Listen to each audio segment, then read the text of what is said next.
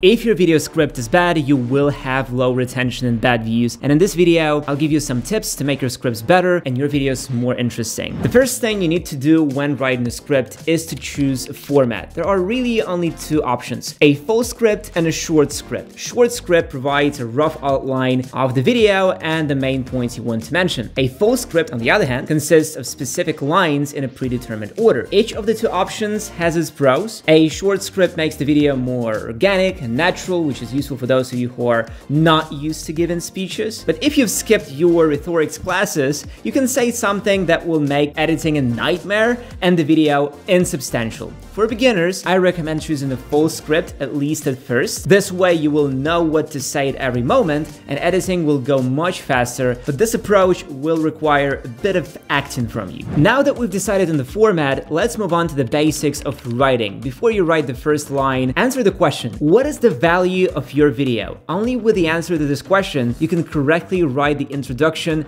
and plan the drama. The perfect introduction for a video should consist of two things, a problem and a solution. First, you need to present some kind of problem, preferably one that is familiar to every viewer. And after that, you need to make it clear that your video provides a simple solution. It is very important for anyone to understand that the time they spend watching the video will not go in vain, because the main idea of any video on YouTube is to provide value. If it's not there, then why would people watch your videos? Depending on the type of content, the problem and solution can be different. In educational content, such as in this channel, everything is pretty simple. First, I will introduce a known problem, and then we explain everything point by point throughout the video. But what about more entertaining content? It's the same thing, basically. How do you write an introduction for a video with the idea, I watched 100 movies with Leonardo DiCaprio. For the problem, we can use a short biography and the actor's achievements, his long journey to the Oscar and so on. One sentence for that. And as a solution, we can ask a question. Is this actor overrated? Does he deserve an Oscar? Sounds interesting, right? The introduction is the foundation of your video, and it's what determines whether people will watch it. And if the viewer decides to continue watching, it's very important not to disappoint them.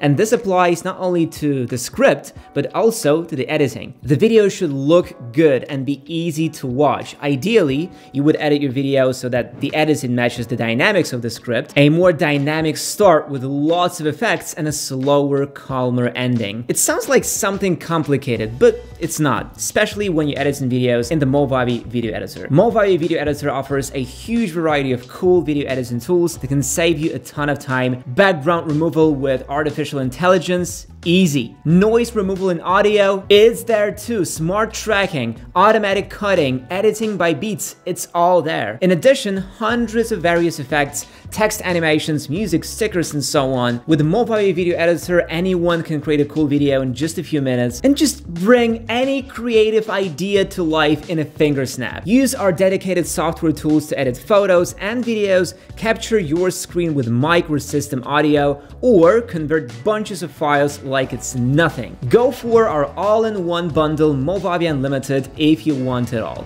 We prepared a mind-blowing 85% discount on Movavi Unlimited. There are so many cool things you can do with our apps and effects. So hurry up to grab your Movavi Unlimited plan. After you've written your introduction, it's time to think about the structure of your video. The most common structure for a video is argument 1, evidence, argument 2, evidence, argument 3, and so on. But if we look at the most popular and viral videos, we can see that this order is often reversed. Instead, the visual evidence is presented first, followed by the context and argument, and this approach is more effective because it allows the viewer to feel the problem and its consequences before they understand the scale of the problem. And of course, this approach isn't always universal. In some types of videos, it's better to stick to the traditional dramatic structure, starting with the problem and then moving on to the solution. The key is to do it in a way that doesn't bore the viewer. I can see you starting to yawn right now. I'm being too boring. And that's not what you want to do. YouTube is first and foremost an entertainment platform. People come to YouTube to watch videos, not to listen to boring speeches. Keep it simple, easy to understand, and entertaining.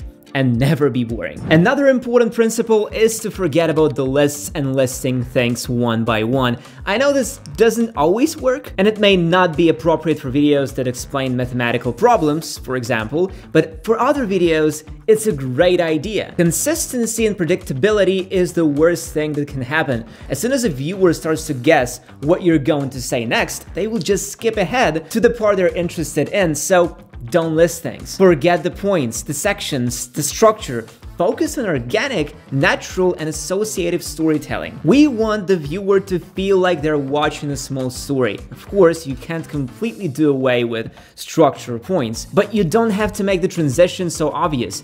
Point number one, conclusion. Now let's move on to point number two. That's boring and cliche. It's much more effective and interesting to disguise the transition as useful information or context. When reviewing a phone, instead of saying, and what about the battery? You could say, taking pictures with this phone is a real pleasure for me. Once I spent three days just walking around taking pictures. And what I was most impressed with was that I barely had to charge the phone. See how much more organic and interesting the transition is. It's seamless, informative, and engaging. No matter what type of video you're making, always try to write your script in a way that minimizes unnecessary filler talk. The information should flow constantly, like a river. No time to rest until the very end. How you write the ending is a whole other story, but that's not what we're talking about right now. I haven't told you how to write the whole central part yet. If you've been paying attention up to this point, you already understand the basics. You understand that you can't escape the point-based structure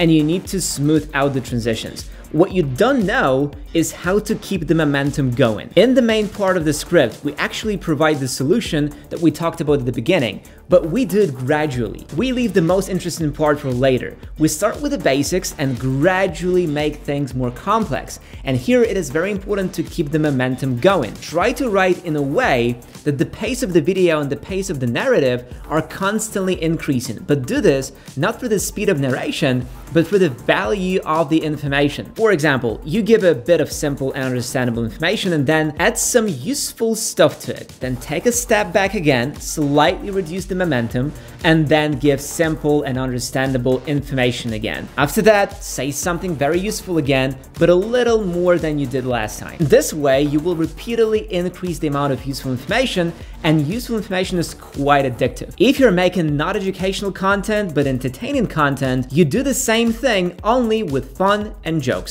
You got the gist. This kind of dynamic of the narrative and information makes people watch from beginning to the very end, and the finale is obvious. Quick, sharp, with a focus on the future. You don't need to spread the final idea like butter on a piece of bread. Say the thing, say your goodbyes, fade to black. Your videos, even though their separate stories should have the potential for continuous viewing. It makes a lot of sense to send the viewer to watch another relevant video in the last few lines, and this combined with a quick ending will allow you to maintain the momentum and instantly transfer the viewer's attention to new and interesting videos. And one more thing, if you're making entertainment content, you need to end the video on a high note. As soon as the emotions reach a peak for the viewer, it's time to end. If after that you repeat or drag on, the positive impression will be lost and your video will not be remembered. Creating this good impression starts with a search for an idea, so hurry up and watch our previous video where I talk in detail about how to find the best ideas. Thanks for watching guys and see you in the next one.